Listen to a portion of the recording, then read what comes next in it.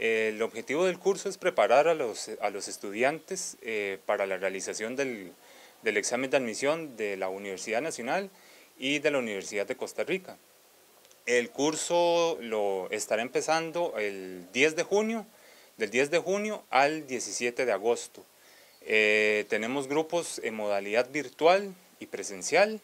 Eh, la duración del curso son tres horas por, por día, por semana y tiene un costo de 70 mil colones. Sí, es, importantísimo eh, que los estudiantes eh, tengan insumos para la realización de esta prueba, porque de ello va a depender el, puntaje que obtengan y para el ingreso a, la, carrera que ellos, que ellos quieran. Entonces, em, el curso está compuesto por, en tres áreas, la lógica, verbal y matemática.